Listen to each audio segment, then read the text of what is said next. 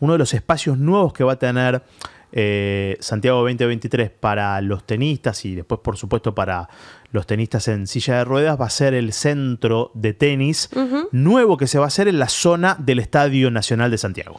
Exactamente, el Estadio Nacional que es como el, centro principal va a ser, como el Parque Olímpico, Exactamente. Y este centro deportivo con una cancha central renovada en el Parque del Estadio Nacional, como decíamos, va a ser de polvo de ladrillo, lógicamente porque es lo fuerte de, nuestra región. Exacto. Eh, y van a ser la cancha central y 13 canchas aledañas que estamos viendo ahora en el video.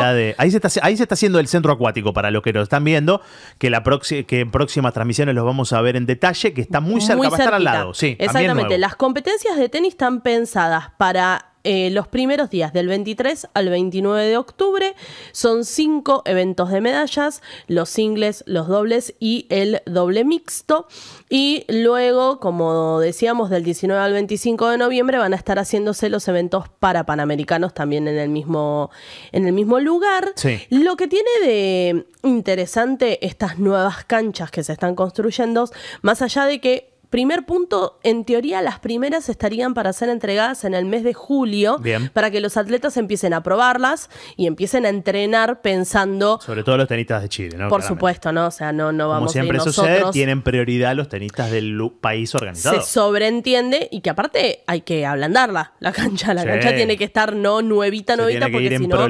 Bueno, ¿qué es lo que pasaba, eh, si mal no me recuerdo, en Río? Que los primeros partidos eran como... pasaban cosas raras porque claro, los piques, eh, en ese caso era carpeta, en este caso al ser polvo de ladrillo es como más simple. Ahí lo vimos a Del Potro tener uno de sus los grandes torneos de su vida.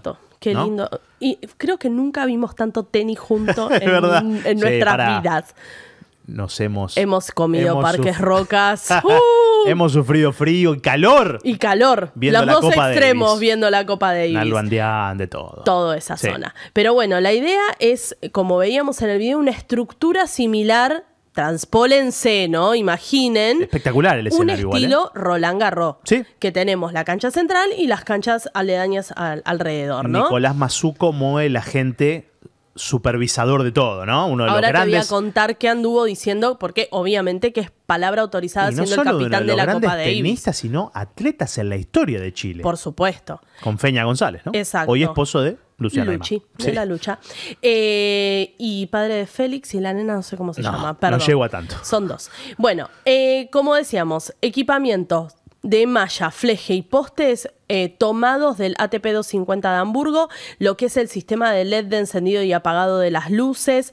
Todo es una calidad lo más cercana posible a un gran slam, justamente para que esto también favorezca la transmisión eh, televisiva, ¿no? Em, como decíamos, para lo que es Santiago se van a usar cinco escenarios principales, con un aforo de eh, casi 3.500 espectadores, em, que eso va a ser en, lo que es la cancha central. La segunda cancha va a tener alrededor de 1.300 y las canchas preliminares con tribunas pequeñas para más o menos 300 personas. Eh, y eh, además de todo esto van a haber cinco pistas de entrenamiento que como veíamos en el video, todo esto está alrededor de esa cancha central que estuvo visitando, como decíamos, Nicolás Mazú y que no solamente valoró lo que es el avance de todas estas obras, sino también lo que representa para Chile y para Santiago en particular.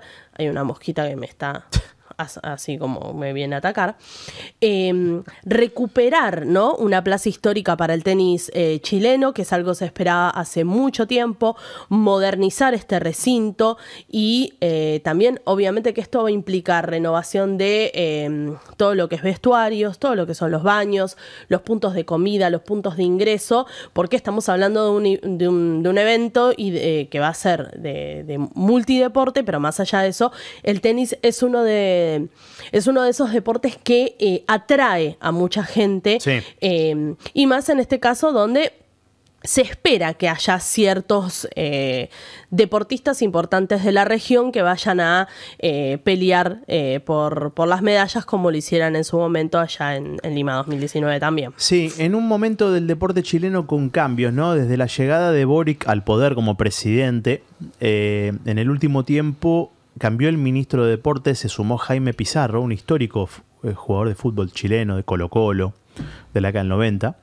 Y eh, Harold Mike Nichols es el nuevo director ejecutivo del comité Sí, organizador. un movimiento ahí también. Claro, eh, que fue un histórico dirigente también del fútbol chileno, presidente de la NFP, de la Federación de Chile de Fútbol, en la época que Marcelo Bielsa fue el entrenador de la selección de fútbol de Chile.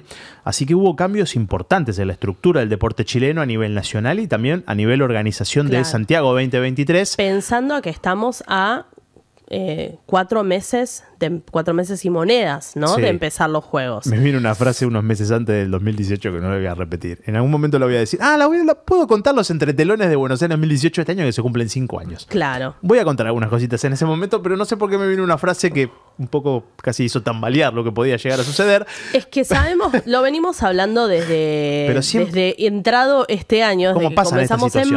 marzo, Sí. que, su- que es imposible llegar a punto caramelo No. para iniciar las cosas y que siempre en las últimas semanas es de corrida, corrida, corrida, No, y- corrida, corrida.